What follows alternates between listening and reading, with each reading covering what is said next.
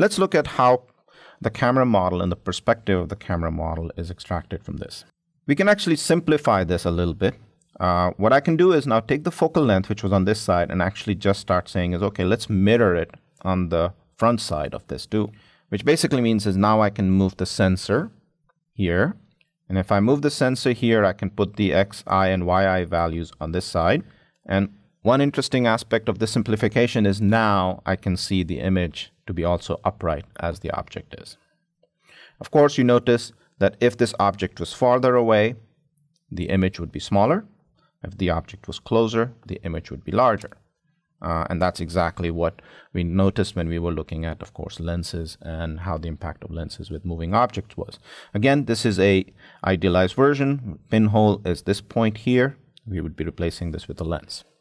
We looked at these equations before. This is how we would compute the values of both x and y for each and every object, the location of the pixel that would be related to, of course, where this point is on the scene.